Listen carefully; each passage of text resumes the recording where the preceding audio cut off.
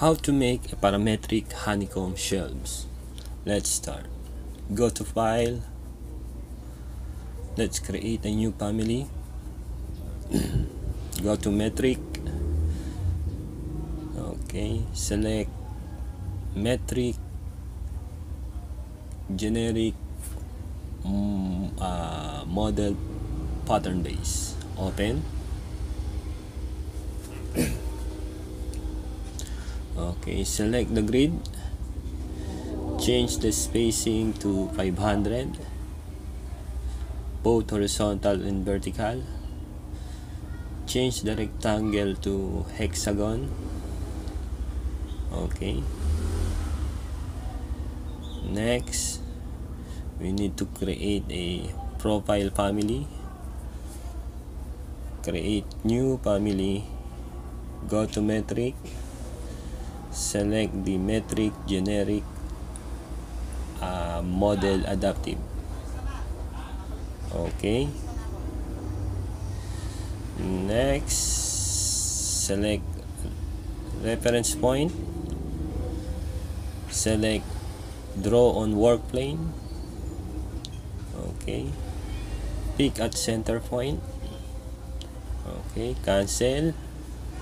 Select reference point make adaptive. Okay uncheck shared. Check always vertical. Okay. Next set work plane. Okay. Set this rep, uh, reference plane. Okay. Make a rectangle above reference point. Okay align select this reference plane and select this line lock. Next dimension select this line. Select this reference plane and select the other line. Okay. Make it equal select the two line. Okay. Select the dimension. Let's create new parameter. Type width. Okay. Next. Um, set work plane set uh, select this reference plane. Okay. Select rectangle draw rectangle above reference point.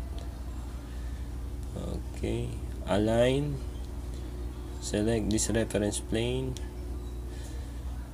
Select this line. Lock.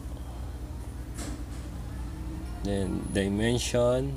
Select this line select this reference plane and select the other line. Okay. Make it equal. Then dimension. Select the two line. Select the dimension. Uh, select the width label. Okay. So we're doing two profile now dimension select this reference plane and this line. Okay. Pick select the dimension. Let's create a new parameter. Type depth. Okay okay dimension. Select this reference plane. And select this other line. Select the dimension. Now select the depth. Okay. Uh, go to family types. Let's change the value of width to 50 and the depth to 100 apply okay. Zoom okay select the first profile. Select the first profile okay this one. Go to visible pick the button. Let's create new parameter. Let's name it profile A. Okay. Okay. Now select the other one. Okay. Go to visible. Pick the button. Let's create new parameter. Profile B. Okay okay. Next. Go to family types. Let's create new new family type. Profile A. Okay. Uncheck profile B. So the profile A is only visible. Create new profile B. Okay now check profile B and uncheck profile A. Apply okay. Okay. Next load this into the project. Load it to family tree. Okay. Uh, just pick anywhere. Okay. Next select reference point. Okay. Select draw on face. Pick at reference line anywhere. Okay. Now select the profile. Select the profile. Pick new host and pick at reference point. Okay. Next select the profile and the reference line. Create form and select this one. Okay. Now we have the form. Select the profile and uncheck visible. Okay. Next. Uh, let's go back to profile. Go to edit type uh, let's make a parameter for for the width. Select the button. Let's create new parameter. Just type width also to map the parameters. For the depth type depth create new parameter depth okay. Now we we can able to change the depth and the width. Let's say the width. Let's change it to 30 okay. The depth. Let's change this to 300 okay. Let's check this profile. Make sure it's unchecked. Okay.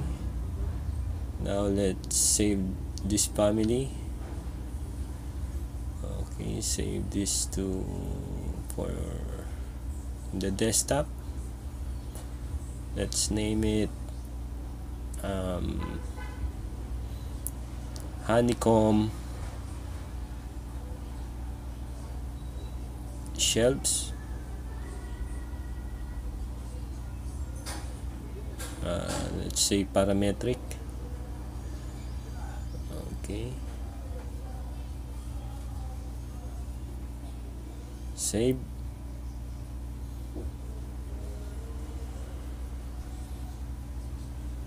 Load into project and close